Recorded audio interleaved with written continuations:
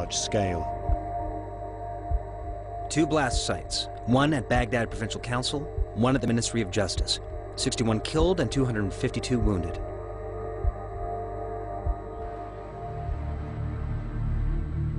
That report is one of the last contained in the American Army files.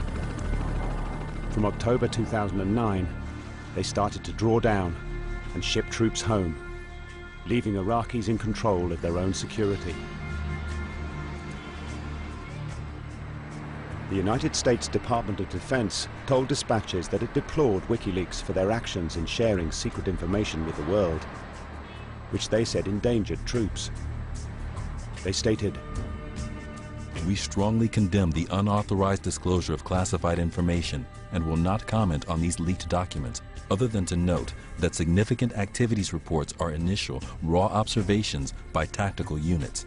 They are essentially snapshots of events, both tragic and mundane, and do not tell the whole story.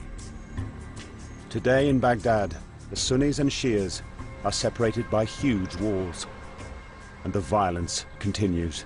لم يقضى على القاعدة الآن العنف سوف يصاعد أكثر فأكثر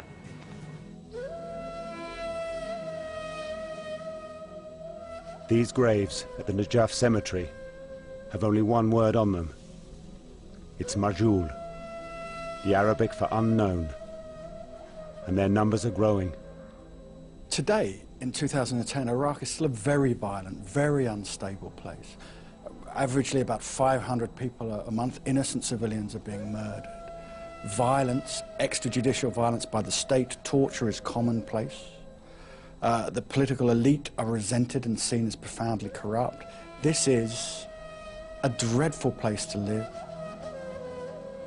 Military historians will take years to properly analyze all the information in the secret files, which chronicle the detail of war as never before.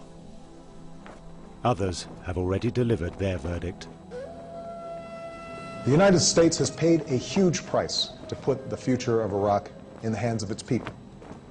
We've persevered because of a belief we share with the Iraqi people, a belief that out of the ashes of war, a new beginning could be born in this cradle of civilization. هاي مو الديمقراطية جبتوها أحلى ديمقراطية يعني خليتونا نعيش بكابوس مرعب من الديمقراطية How can you not feel sorry about people who have died? I mean, you, you would be inhuman if you didn't think that. But when I'm asked whether I regret the decision, you know, I have to say I take responsibility for it, but I can't regret the decision.